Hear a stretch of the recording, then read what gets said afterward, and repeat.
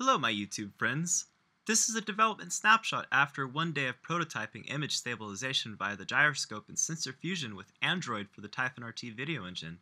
It is not representative of a final product and shows the limitations of real-time stabilization with no look ahead. Quality image stabilization really works best as a post-processing step. However, real-time z-axis locking is possible with the rotation sensor fusion capability of Android. When clipped, the z-axis is oriented regardless of device rotation. I'm now going to enable and disable clipping and z-axis rotation for a comparison.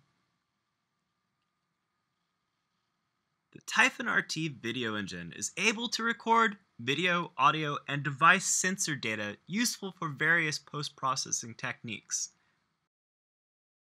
The remainder of this video will show a live action demo of the same technique. After a day of prototyping, I took a trip over to the St. George's Distillery in Alameda from the San Francisco Ferry Building. What a day it was! The red box indicates a clipping area that would be used for image stabilization, but it should be noted again that we are doing no look-ahead calculation, so we really are just ending up with smoothing.